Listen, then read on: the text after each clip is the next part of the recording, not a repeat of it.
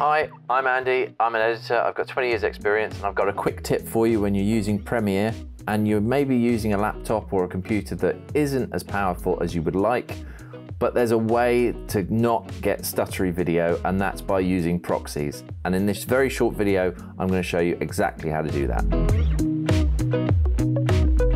So here we are in Premiere. I'm using a reasonably powerful computer and I'm using a solid state hard drive which is absolutely blisteringly fast. And uh, on the timeline, I've got the clip that is an 8K clip and it's jittery when I play it back.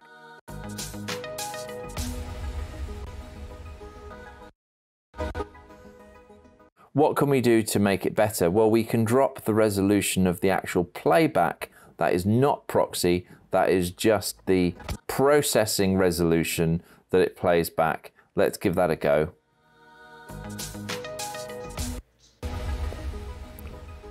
So as you can see there, the computer is really struggling with that 8K file. So what I'm now going to do is select the files in Premiere and go to proxy. Create proxies and a, a menu will appear. Now what proxies are, are they low resolution versions of the high resolution media that Premiere is struggling to play back. So what we do here is we select a format. You can either do H.264 or QuickTime. I prefer QuickTime. And in terms of resolution, I'm going to go low resolution with this. And then the other option is in this destination section. You can do either next to the original media in a proxy folder, or you can set your own proxy folder somewhere else on your hard drive. Then I'm going to click OK. And then what it's going to do is it's going to analyze that media in Media Encoder, over a bit of time, it's going to convert that into the file format that we specified. And you can see it's doing it now. It's automatically adding them to a queue. It's just, all it's doing is it's running through these files and converting them. And when they're done, you get a little green tick. So this is the 8K file. So this might take a little bit longer. And it gives you a summary of all the information that you've selected. And that's going to be the quality settings of your proxy file. Right, and that's done now. So now we're back in Premiere. If we press the spacebar, it's still playing back super glitchy, and that's because we haven't turned on the proxy feature yet. And to do that, we need to go into the button editor on this little plus icon and select the toggle proxies and drag that onto your toolbar down there. Click OK.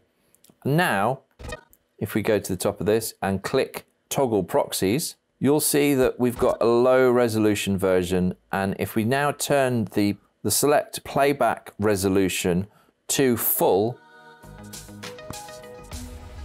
we get a totally clear and clean playback of that video file. So what we can do now is we can edit this to our heart's content, knowing that we're getting super smooth playback. We can add cuts to it. We can do all the things that we want to do. We can even add a few more shots on. So we'll select one of these. And because we've got proxies toggled, it loads the proxy version into the source monitor as well.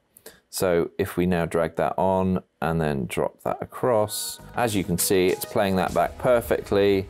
What it does do is it gives you those little black lines on the left and right. Don't worry about those because as soon as you're finished your cut and you're happy, what you then very simply do is you click the toggle proxies button off, you lose those black bars on the sides, and you, you then export your media. So there we go. If you've got a slightly lower powered computer and you've got 4K or 8K video and you want to cut it, use proxies.